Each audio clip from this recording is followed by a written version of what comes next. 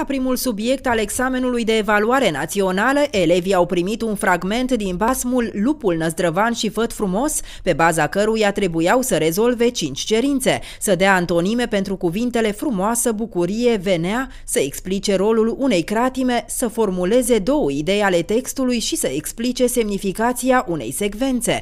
De asemenea, pe baza aceluiași text, elevii de clasa 8 aveau de redactat o compunere de 150-250 de cuvinte, în care să argumenteze apartenența la specia basm a fragmentului dat spre analiză. A doua compunere a avut ca temă prezentarea unei întâmplări petrecute într-o zi de sărbătoare.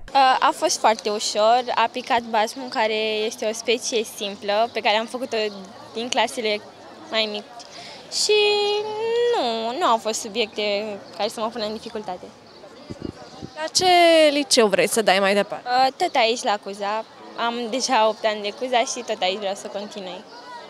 Okay, urmează ce probă? Uh, proba la matematică. Ți-e frică de ea? Foarte frică.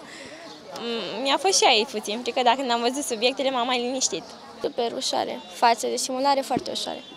Ai scris destul de mult? Da, și am scris chiar mai mult decât se încadra în cerință. Deci e destul de bine, că știu că se apreciază dacă scrii mai mult, atâta timp cât e corect. Da, super. A fost un uh, subiect uh, de, care ți-a creat așa un pic uh, dificultate? Nu, atâta timp cât înveți și știi ceea ce scrii și ai și un profesor bun care te îndrumă sub nicio formă, n-ai cum să te încurci.